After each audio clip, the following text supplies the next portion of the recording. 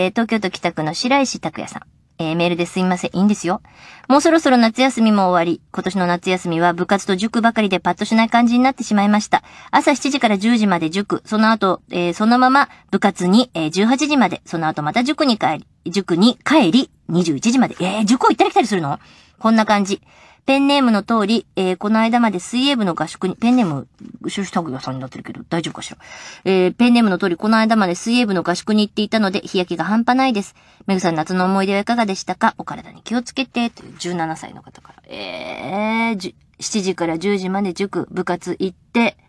また塾。17歳って大変なお年頃ですな私、あの、先日、あの、横浜に、ちょっとあの、株式会社ポケモンの方からもちょっと、あの、お誘いも受けまして、横浜ピカチュウ大発生っていうところに行ってきまして、まあまあ、いろんなところであの、3DS にピカチュウもらえるんですけど、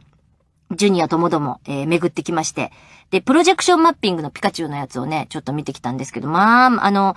どっッグヤードって言って、あの、犬じゃないんですよ、あれ。あの、船を、もともと出来上がった船をそこに置いて、横からバーって水入れて、そこから出発させるっていうドッグヤードっていうのが、の跡地が横浜にあるんですけど、まあ、そこでの、あの360度近い形の、えー、プロジェクションマッピング。まあ、ピカチュウがバンバカバンバカバンバカバンバカバンバカバンバカ出てくる映像なんですけど、非常に楽しく、えーいい夏を過ごさせていただきましたよ。